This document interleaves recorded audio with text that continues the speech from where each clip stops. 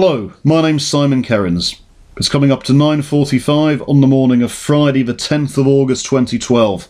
At least that's when this program is being recorded. Welcome to the fourth edition of the New Look Sports Call.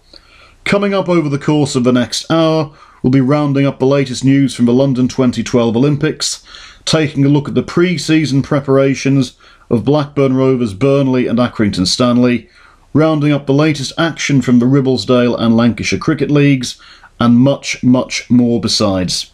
If you're listening to this programme for the first time, thank you for tuning in. It's great to have your company. And if you're a previous listener or a regular listener, many thanks for coming back.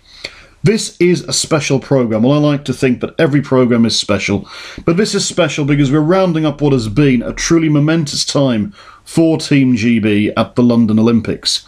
We're also sharing your news, your thoughts, your opinions, your sporting likes and dislikes. And, drumroll, the minute I finish recording this programme, I'll be straight off to do an interview with a very special guest. If you were tuned in to last week's programme, you'll have heard me talking about Wilkin Mota, Whalley's Indian all rounder, who has experience of the Indian Premier League. Well, I'll be talking to Wilkin after this interview, and that interview will be going out separately on YouTube and available via Facebook and Twitter over the course of the coming days, as indeed will this programme. Now, since the last programme, I've had many positive comments from you, and that is great. Keep them coming in. Remember, Sports Call is your call. I used to say that two years ago when we aired on Ribble Valley Media. Maybe you listened to Ribble Valley Media two years ago. We aired between August 2009 and September 2010. It's incredible to think, but it will soon be two years since the demise of Ribble Valley Media. Two years, it seemed, since the demise of Sports Call, but it was always my plan, always my intention to bring back Sports Call, and that is exactly what I did a few weeks ago. And it's great to be back. It's great to be with you once again. The format might be slightly different in terms of how you access the program, but the main thing is you can still get in touch. Although this is not going out live, you can interact during the course of the week. Very, very easy to do that. You can send an email to Simon Kerins Sports Call at gmail.com. That's Simon Kerins Sports Call at gmail.com. If you're a Facebook friend, you can get in touch with me via Facebook. Very simple and straightforward to do that. If you do know my mobile phone number, you're very welcome to send me a text or indeed give me a call with your sporting news, views, likes, and dislikes. And if you bump into me when I'm around and about, then you're very welcome to give me your opinions. And whatever you do, whatever you say, I will share your sporting opinion with your fellow listeners here on Sports Call. Nothing could be easier than that.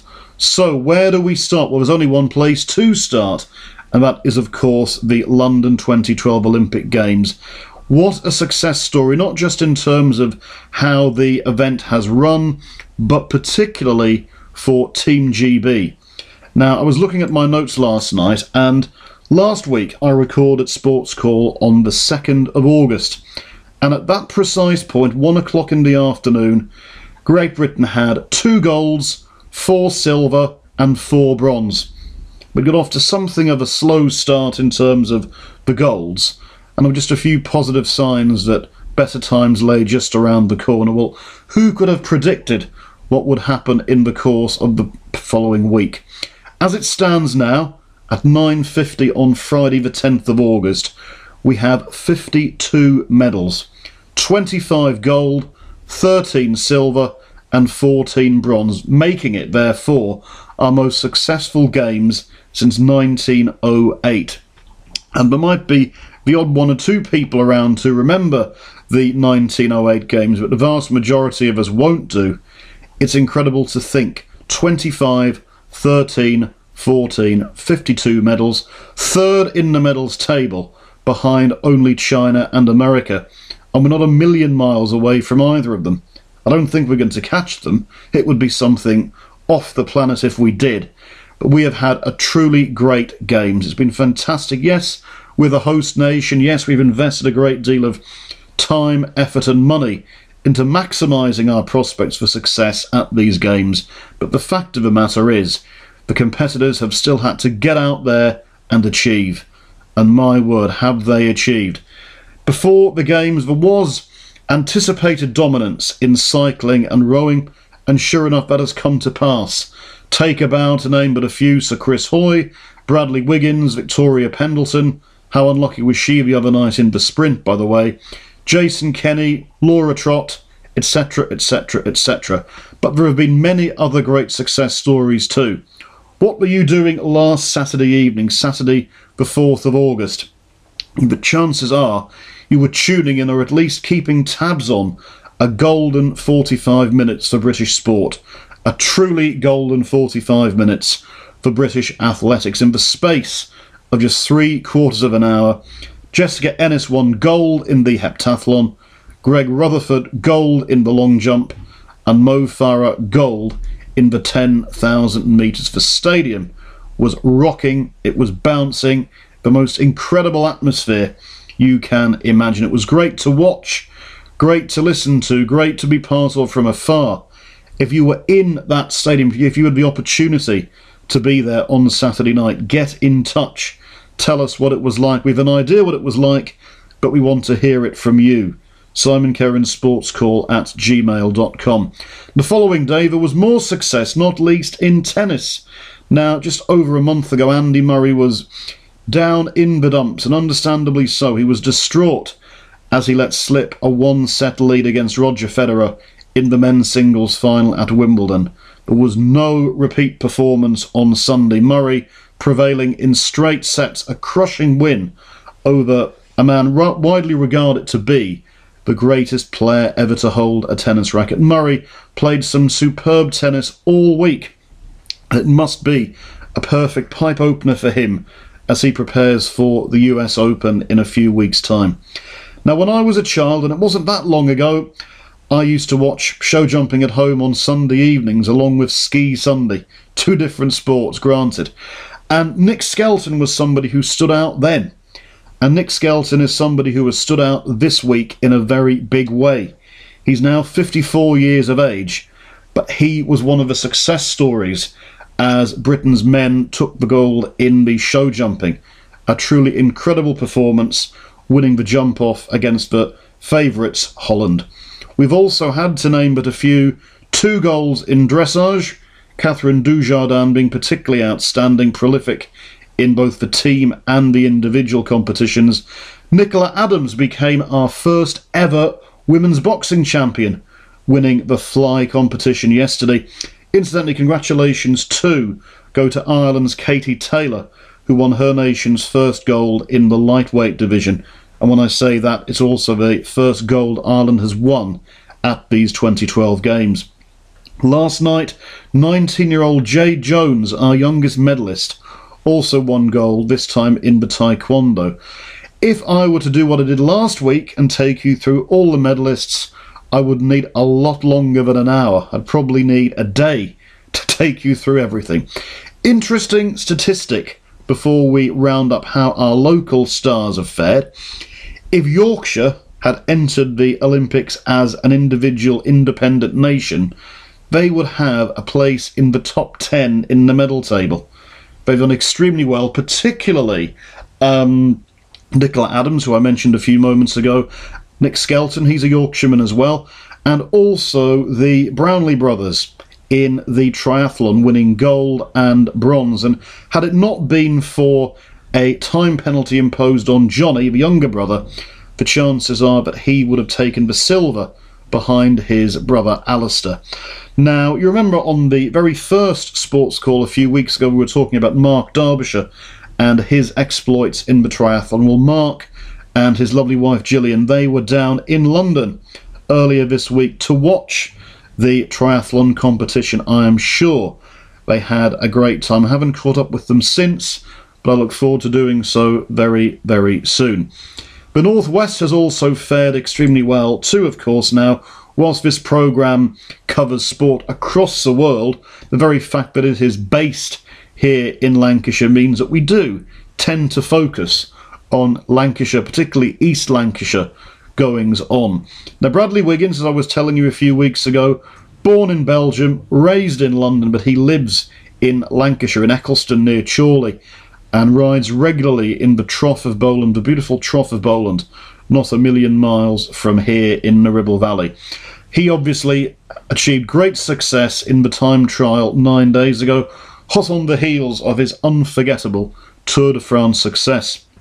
Jason Kenny from Bolton won gold in the cycling sprint, and he seems to have struck gold of another kind as well, because it would appear that he's in a relationship with the lovely Laura Trott, who has become the new cycling heroine of these games. Stephen Burke from Colne took gold in the cycling team pursuit. Sophie Hitchon from Burnley has set a new Great Britain record en route to the Hammer final, in which she takes part later tonight. Samantha Murray from Clitheroe will be flying the flag for both Lancashire and Team GB in the modern pentathlon this weekend.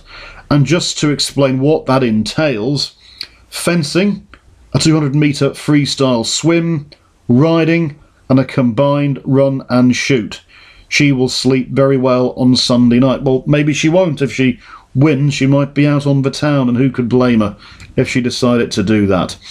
Unfortunately, Holly Bleasdale from Blackburn didn't hit the heights in the pole vault. She was very unfortunate. Lady Luck didn't exactly shine on her, nor did it shine on Fran Halsall, the swimmer from Southport. But they took part, they gave their very, very best, and both will be hopeful of future success. Incidentally, before somebody emails me or texts me or suggests it, we are trying to get some, if not all of the above, onto the programme at some point in the near future. Of course, it may take time, they'll need a break after their exploits down in London. Who can blame them for that? But I would like to think that over the course of the next couple of weeks, certainly the next few months, we will have somebody on the programme, or at the very least, I will be able to update you on our efforts to get one of those Olympic stars to Sports Call for an interview. So, to summarise, it's not just the best Olympics for Team GB, but we have the legacy going forward. Great interest, people taking up cycling, people taking up rowing, people looking at dressage and equestrianism, who previously didn't know anything about either sport, and so on and so forth. That is a legacy. And of course, apart from everything else, there is very much the health and fitness side of things too. One personal observation, and it sounds a little bit jingoistic and excessively patriotic, but I'm going to say it anyway. I've noticed, and feel free to correct me if you think I'm in the wrong here. I think that looking at the Team GB individually and collectively, nobody has an edge, nobody has an arrogance. It's impossible to dislike any of them. They compete with a smile, they compete very fiercely, but they're out there, they're enjoying themselves, they're proud to be representing us, they're proud to be part of the Olympic Games. Just like Usain Bolt. What a legend he is. Last night, following up his 100 metre success on Sunday by winning the 200 metres. In doing so, he ensured that he defended both sprint titles that he won in Beijing back in 2008. Is he truly the greatest athlete of all time? Well, it would certainly seem that he's the greatest sprinter of all time. If you've got a view, be it yay or nay, get in touch, let me know what you think. Simon Kerins, Sports Call at gmail.com. And certainly, as regards the most decorated Olympian, then Michael Phelps, the American swimmer, stands head and shoulders above the rest. 18 golds, 2 silver, 2 bronze, 22 medals, the most decorated Olympian. Give us your thoughts on the Olympics. We are going to be referring back to them on future programmes, perhaps, not to the same extent, but we will be looking back from time to time because we have had such a wonderful fortnight. The games come to an end on Sunday. I'm looking forward to the closing ceremony, so long as Sir Paul McCartney doesn't sing again. Um, if you're listening, Sir Paul, that was a joke. If you're not, um, well, it's less of an issue. But seriously, it's been a fantastic fortnight for British sport. brilliant, a legacy to take forward, so many great memories. And I'm sure up and down the country in the days and weeks and months, and indeed the years ahead, people will be talking about where they were and what they were doing when so and so won such and such. Okay, moving away from the Olympics for now, onto cricket. This time last week we were previewing the second test between England and South Africa at Headingley. Remember, South Africa crushed England by an innings and 12 runs in the first test at the Oval. The second test at Headingley produced a draw, which means that England must win the final game at Lords in order to preserve their status as the world's number one cricketing nation. And their preparations for so doing have not been helped by the uncertainty regarding the future of star batsman Kevin Pietersen.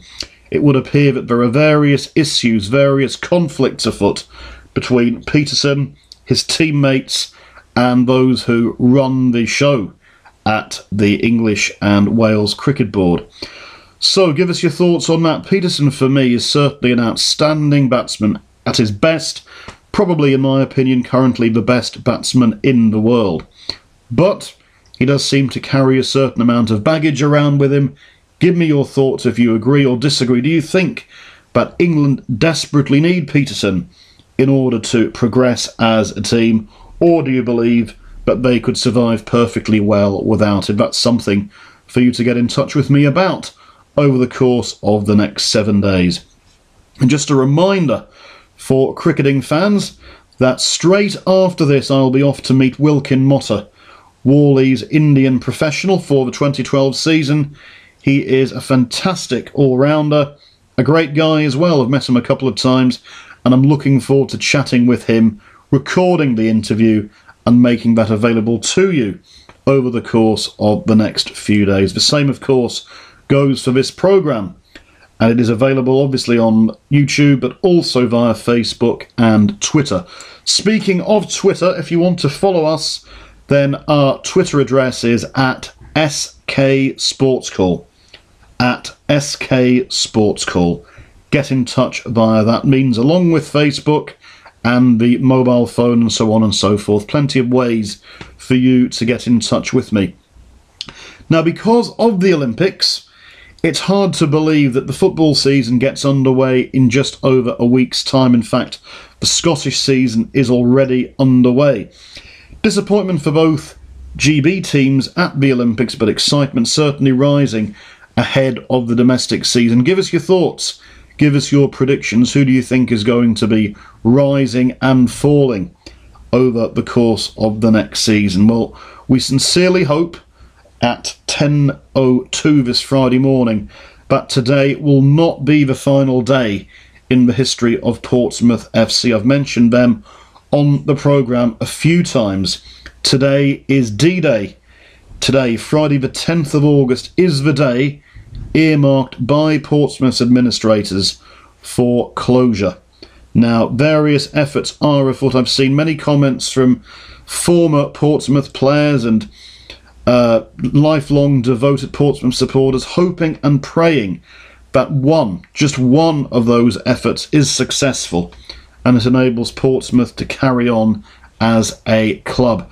Incredible to think that just four years ago they were celebrating winning the FA Cup. They were a mainstay in the Premier League between 2003 and the season before last. Incredible to think that they could be out of existence today. I sincerely hope that by the time you're listening to this, something has happened to save Portsmouth FC. Moving on from football, we will of course be returning to preview the East Lancashire preparations for the new season in a few moments' time. But for the time being, moving from football on to golf, the US PGA Championships, the final major of the season, got underway yesterday at Kiawah Island in South Carolina. And Britain's Rory McIlroy and Graeme McDowell are doing pretty well, less well. Lee Westwood and Luke Donald. Luke Donald, my personal tip for the title. He's two over after the first round. He's still, well, in the hunt, provided he gets his act together today. Um, I did have a little wager on Luke Donald. Maybe that's what jinxed him uh, seems to be jinxing most of the horses that I'm backing at the moment. So if I can jinx the horses, it's only fair that I can also jinx Luke Donald. But seriously, I hope he turns things around, or at the very least, makes the cut, kicks on, and we have a Briton emerging on top at Kiawah Island on Sunday evening. That would be great. As it stands, it's the Northern Ireland pair of Rory McIlroy and Graeme McDowell who look best set to achieve that. Moving from golf to rugby league, we mention rugby league from time to time. I'm a big fan of Wigan Warriors, as some of you may know, topping the table at the moment, but coming under pressure from Warrington. And it's Wigan versus Warrington this weekend, the clash of the season so far, undoubtedly. One thing you may recall me mentioning if you were a sports call listener in the Ribble Valley Media days, I do find it absurd that at the end of the season, the team who comes out on top of Super League is still not guaranteed to be the champions. They get the silver trophy. You then have playoffs, setting up a final at Old Trafford for the overall Premiership title. Can you imagine if that happened in football?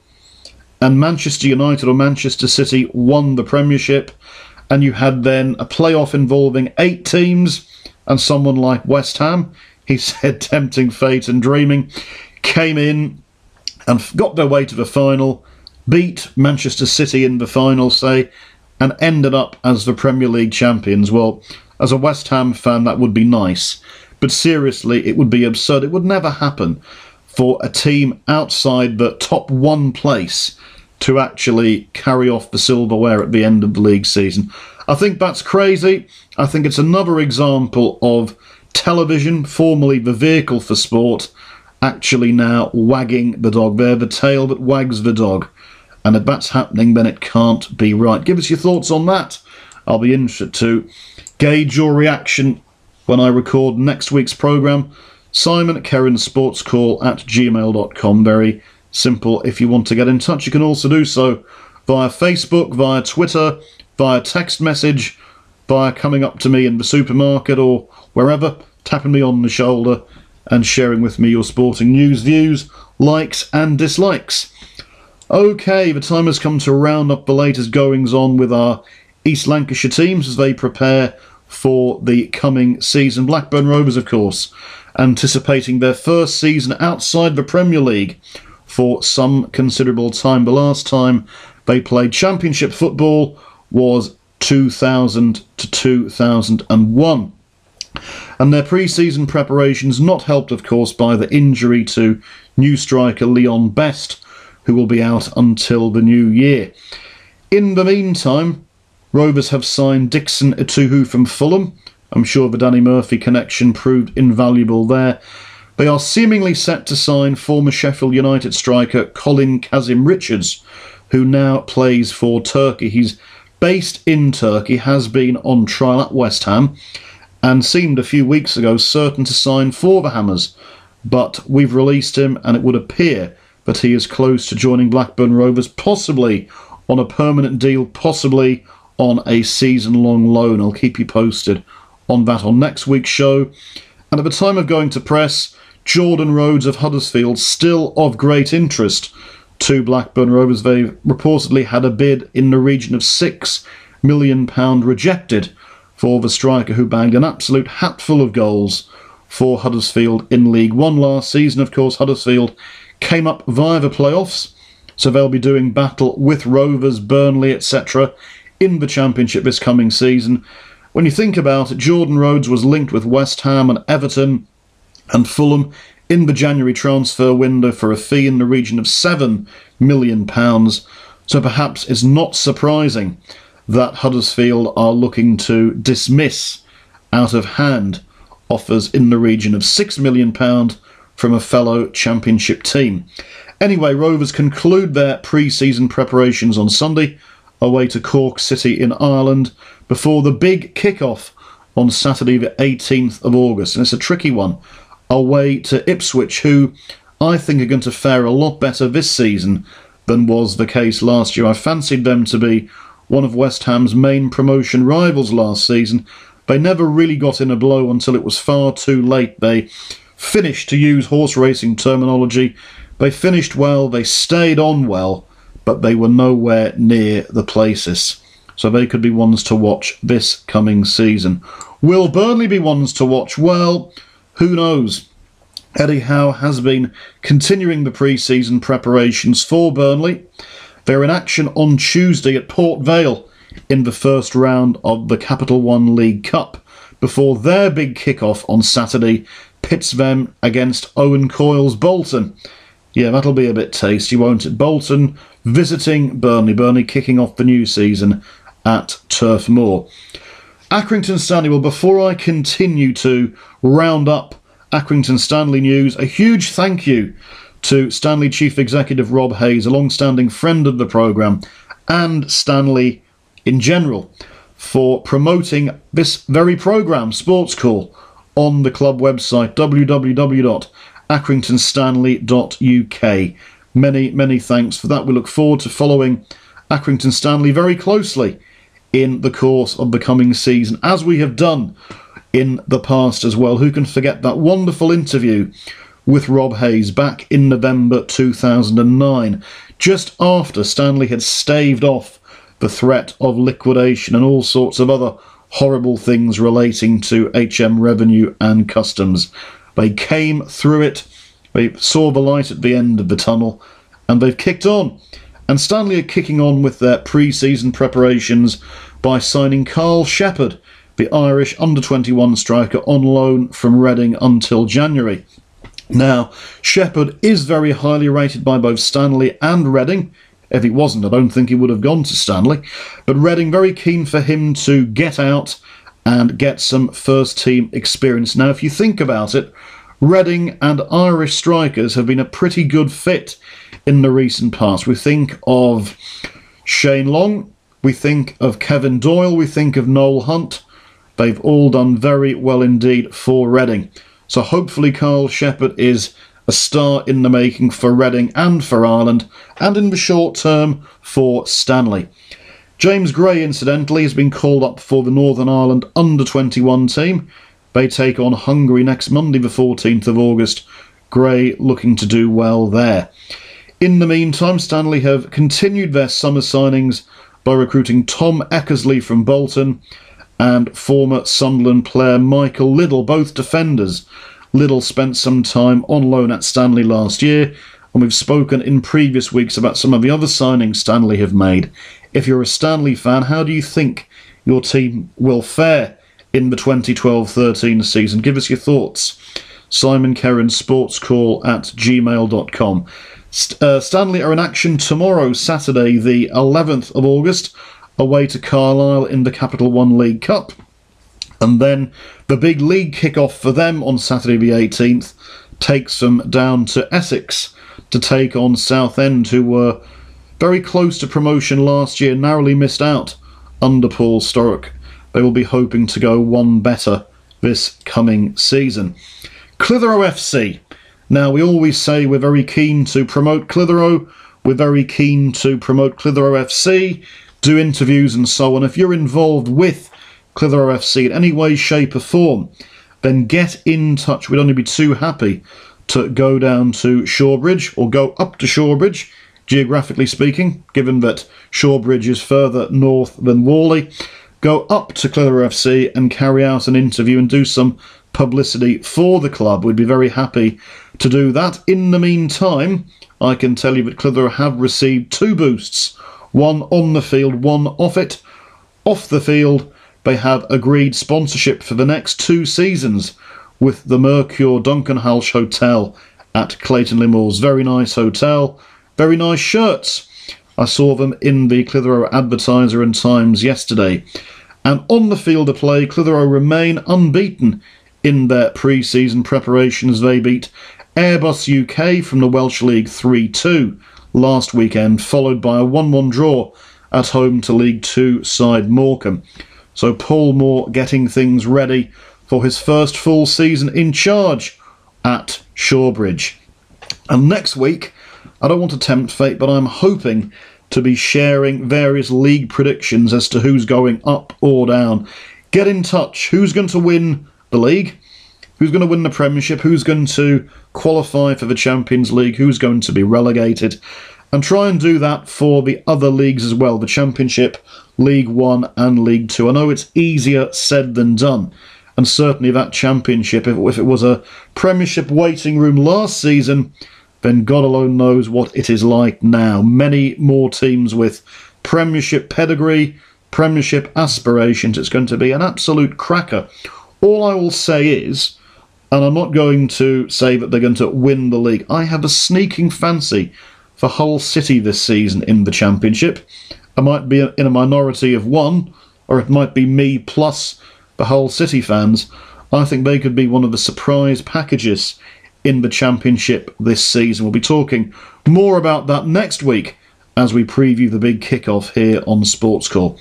Moving though from football to cricket, as we do seamlessly every week, to round up the latest action in the Holsworth sponsored Ribblesdale League. Kicking off with the leaders Barnoldswick at home to Edenfield. Now, Barnoldswick made 234 for 6, Liam Bedford 52, Imran Khalid 60, Umar Sadiq top scoring with 81, Edenfield were 41 for 3 in dire straits before the elements intervened and the match was abandoned. Baxenden, defending champions from last season, at home to Reed.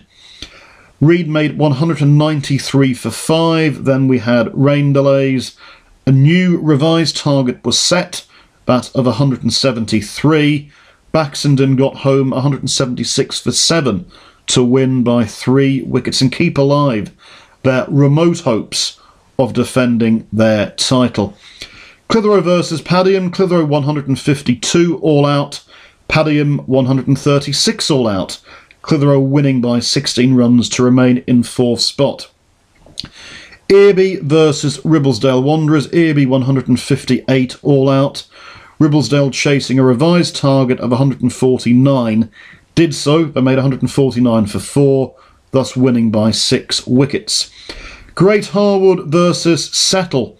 Settle batted first, 134 all out. Anik Hussain top scoring with 51.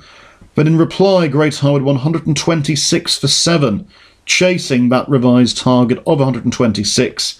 50 from Syed Shahabuddin as they won by three wickets. Oswald Immanuel versus a bang in form Whalley side. Whalley 168 for 9. Lee Kearsley top scoring with an unbeaten 65.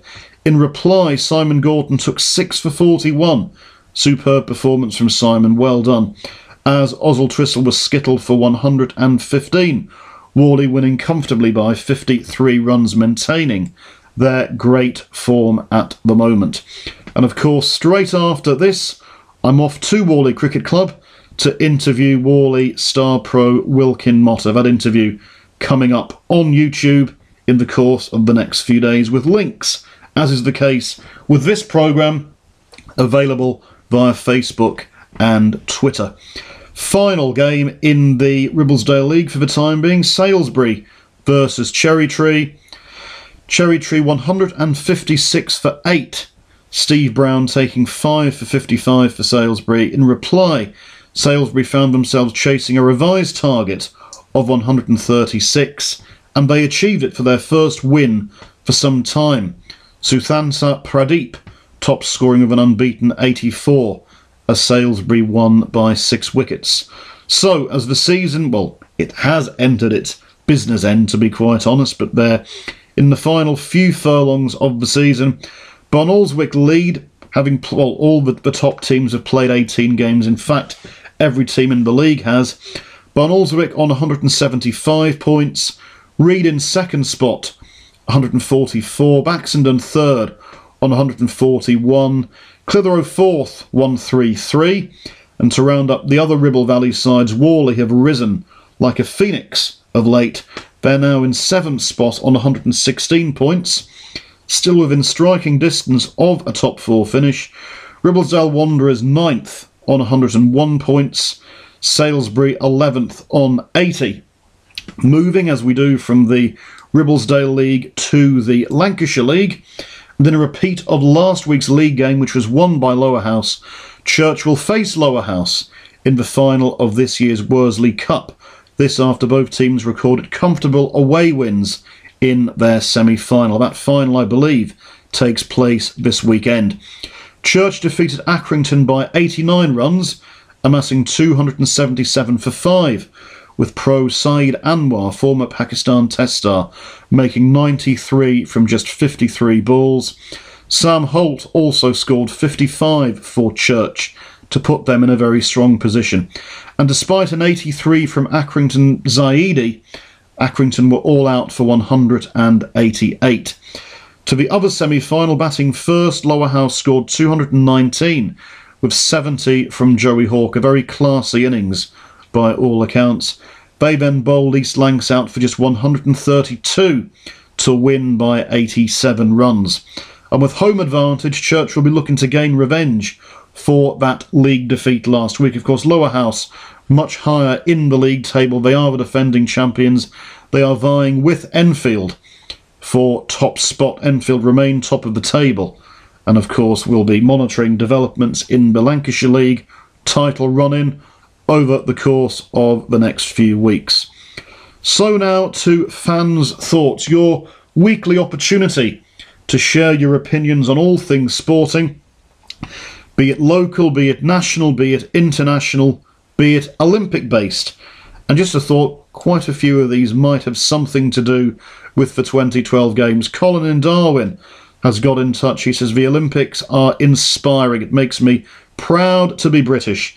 A sentiment echoed by so many people over the course of the last 12 days. 14 if you include the opening ceremony. And of course, we're looking forward to the closing ceremony as well. Beth in Clitheroe has got in touch. She says, I never dared hope for so many successes for Team GB. The only problem is that I keep bursting into tears at the national anthems. Well, you're not the only one. Um, and to watch some of the athletes, these established stars, just unravelling with emotion. One thinks in particular of Chris Hoy and Felix Sanchez, who won the 400 metres for the Dominican Republic the other night, eight years after winning the title in Athens. To see stars like that completely unravelling emotionally shows just how much the Olympics means to them. To see the success, to achieve the success, and then to hear your national anthem as your flag tops the podium. Absolutely superb. Sir Bradley, Sir Andy, Sir Mo, Dame Victoria, I could go on. Actually, why not do the whole lot of them, says Aidan in Preston. Well, the staff at Buckingham Palace are in for a very busy time if that happens, Aidan, aren't they? But Sir Bradley Wiggins, I would say that is a certainty at some point in the near future. Dame Victoria Pendleton, why not? Big, big fan of Dame. Of, I've, I've knighted her already. Victoria Pendleton, great star, so unlucky in the cycling sprint on Tuesday, of course, she won the Keirin last Friday. Hopes were high that she would go out on a high in her final ever race against her long standing Australian rival, Anna Meares. We know what happened. She was disqualified. She'd won the first leg narrowly by a thousandth of a second. She was pipped, uh, however, had the rug pulled from underneath her, disqualified for moving out of her lane, crossing the line. If you look at the replay, it's quite clear that Anna Meares was not doing her any favours, forced the issue, she bounced out of her lane, she was disqualified, no appeal. The commissar's decision was final, and she was beaten, unfortunately, quite comfortably in the second leg. So, commiserations to Victoria Pendleton, but thank you for all you've done for British cycling and for British sport. I'm sure that damehood will come your way one day. Sir Andy, that relates to Andy Murray. Well, brilliant to see him winning at Wimbledon. Uh, the first men's Olympic champion for 100 years. Mo Farah, great achievement in the 10,000. He could well double up in the 5,000 metres in the next day or so. As Aidan says, do the whole lot. There will be people from outside that list who will be on their way to Buckingham Palace sooner rather than later, I'm sure and of course there will be a special open top procession. I believe That's going to be early in September to mark the achievements of Team GB. Next comment As big a footy fan as I am, these Olympic heroes are much more in touch with us than the overpaid footballers. So says Claret Eddie from Accrington. Thank you, Eddie, for those comments. I'm sure many, many people agree with you. Hugh from Coppull has got in touch. He says, Simon, thank you for showing common sense re the national anthem debate. Some people always want to make mountains out of molehills. A little perspective never hurt anyone. Thank you, Hugh. But in relation to what I said last week when a few people were commenting about how certain competitors from Team GB, particularly Welsh and Scottish footballers, were not singing the national anthem. There's been, incidentally, some I was going to say banter, but I think banter is making light of it between Piers Morgan and Bradley Wiggins on Twitter this week uh, regarding the singing of the national anthem. Piers Morgan saying it should be compulsory, Bradley Wiggins taking a slightly different view. For me, just to recap on what I said last week, you have to bear in mind that Welsh and Scottish competitors, and the same would apply to Northern Irish ones as well, have not really grown up singing God Save the Queen. Okay, some in Northern Ireland may have done, but certainly not in Wales and Scotland. They're more used to Land of My Fathers and Scotland the Brave, Flower of Scotland, respectively. Therefore, it would be a little bit strange for them to suddenly start singing God Save the Queen as if their lives depended upon it. Yes, they're representing Britain, we know that. But as Hugh said, a little perspective never hurt anyone. And I think it's important to keep things very much in perspective. You know, we don't want to be looking back at these games, and the main thing that people have to talk about is who sang the national anthem and who didn't. I don't think that would be right at all. Lisa Jane Bishop Auckland has got in touch. She says, I said a few weeks ago how good the Olympics would be. I was right. And more and more people are coming round to my opinion. They certainly are, Lisa Jane. They certainly are. Tony from Blackburn, as opposed to Tony Blackburn? Well, it could be, in which case it would be sensational. Yes, moving on. Uh, Tony in Blackburn says, over a week to go to the 2012 13 season, and I'm not overly bothered a lot of people saying that the Olympics has really hogged the limelight, and rightly so, over the course of the last couple of weeks. Wayne in Abbey Village has got in touch. He says, For all the new signings, Rovers will need to move faster than Usain Bolt to get into a challenging position this season. I still can't believe that Steve Kean is still in charge. If anyone else was in charge, I'd be very optimistic about the coming season, but under Kean, I can see it all unravelling. Give us your thoughts on that. Dan from Padiham says, I'm feeling a little underwhelmed after Burnley's pre season, but as long as we stay up and beat Blackburn Rovers twice, it'll have been a great season. Thank you, Dan in Padiham. And last but not least for the moment, Matt in Accrington says, I see that the bookmakers have made Accrington Stanley relegation favourites and 100 to 1 to win the League Two title. Well, we've proved people wrong before, and I'm sure we will do so again. I'm sure you will too. So, on next week's programme, we will be spending a bit more time previewing the coming 2012 13 football season. Send in your tips, your predictions, your hopes, and your fears, as well as your regular news, views, likes, and dislikes. We are coming to the end of this week's programme. It's slightly shorter than normal because I want to get away for my interview with Wilkin Mota. That will be available separately uh, on YouTube, but also available via Facebook and Twitter in the course of the next few days. Just to say a few more things, um, we've spoken about the plight of Portsmouth FC, and I sincerely hope that Portsmouth will be able to survive today seemingly D-Day for the Fratton Park Club, who just a few years ago were firmly established in the upper reaches of the Premiership, winning the FA Cup, playing in Europe, playing some great football in the process. But really, things have gone from hero to zero, from top to bottom, in just a few short seasons. Darlington and Bradford Bulls have also been in the mire lately, along with, of course, Glasgow Rangers, we have, and I made this comment a few weeks ago, tried to get in touch with an administrator to get him to talk about the issues facing many, many sports clubs in the current climate. I haven't yet heard back from him. Hopefully, I will be doing so very soon. And we will get him on the programme to talk about that. I think it would be very interesting to find out more about the role of an administrator, the issues facing them, and of course the issues facing the clubs in crisis. If you have any other sporting news, of course, get in touch. If your school is going to be doing something, if your amateur team, your amateur athletics club or football club or golf club or whatever is doing anything, be it for charity or you simply want to raise the profile of your sporting organisation, all you need to do is get in touch with me, Simon Kerins, here on Sports Call. You can send an email to Simon Kerins Sports Call at gmail.com. You can get in touch with us via Facebook if you're a Facebook friend. If you're a Twitterer or a tweeter, uh, you can get in touch. Our address is at SK Sports Call. You can text me, you can ring me, you can come up to me in the street and get in touch that way if you so wish. One final comment to make for now. We still have those sponsorship packages available, those regular slots that we've just actually gone through in the course of the last 45 minutes or so. It costs just £50 per calendar month for a slot. And you will get your name mentioned, your corporate name mentioned, or your individual name if you want to sponsor as an individual.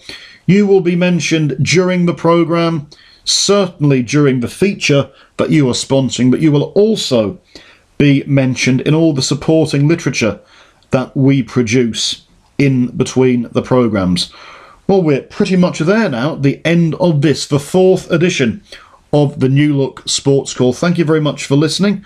I hope you've enjoyed the program. I've certainly enjoyed rounding up the latest news from the world of sport over the course of the past week. I look forward to your company next week. I look forward to interviewing Wilkin Mota very shortly, and hopefully by the time we meet again next week, both this and the Wilkin Mota interview will be on YouTube and available for your listening pleasure. So please get in touch. Thank you very much for listening. I'm Simon Kerins. You've been great for listening. I look forward to your company next week. All the very best for now. Thank you. Bye bye.